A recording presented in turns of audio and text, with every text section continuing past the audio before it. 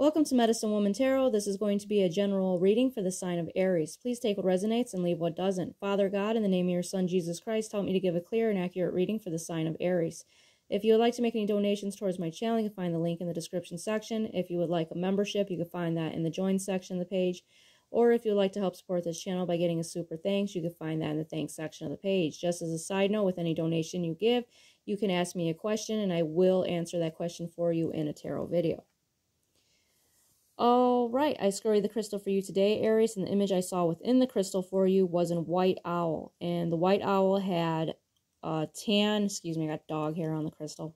Okay, the white owl has tan spots on it, and it's in a very high up in a tree. And it came in very clear in the crystal, it was very vivid. And it was looking over these treetops, and the trees were all turning like fall colored. And I could see the sunset, you know, coming down in the distance. So owls could be significant to you. Like I always say, you could have more than one spirit animal. Um, owls symbolize, you know, being very much spirit, spiritually enlightened, you know, being, you know, connected, you know, your third eye being open, connected to the spiritual realms. And it being a white owl could also signify, you know, purity here within the crystal. All right, let's get into your reading. First card to come out for you today is the Nine of Cups. So with the Nine of Cups being here, this is, you know, happiness. This is you know, dreams coming true. This is abundance here with the Nine of Cups. And that next card to come out next to it was the Ten of Cups. So that's pretty interesting here that you got the Nine of Cups here next to the Ten of Cups. So it's you're you're reaching one level, you know, up here. So, you know, it's like things are getting better. So you go from the Nine of Cups and to the Ten of Cups. And with the Ten of Cups, this is happiness, this is joy, abundance, you know, love overflowing here with the Ten of Cups. Next card out for you is the Ace of Cups. So with the Ace of Cups, this is happiness, joy, the same thing, like abundance and, you know, all good things overflowing for you. And, you know, the, I haven't seen the cards come out like this, you know, with all these good cards. The next card out for you is the Eight of Coins.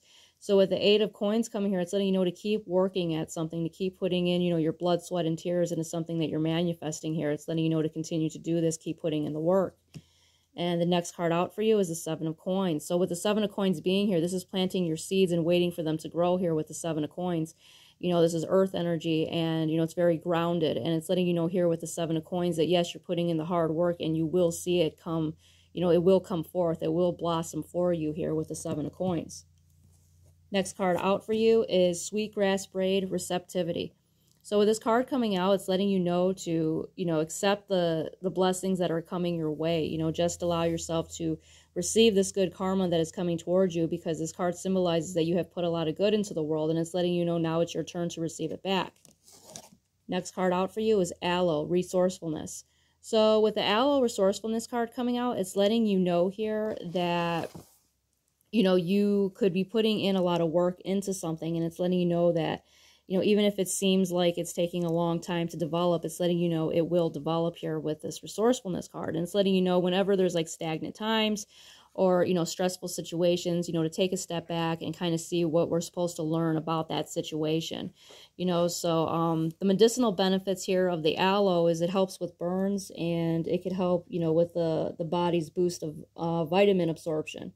And, you know, it's very healing for the skin, healing of uh, inflammation of the skin, reducing pain, and, you know, like I said, it's the first aid remedy for burns.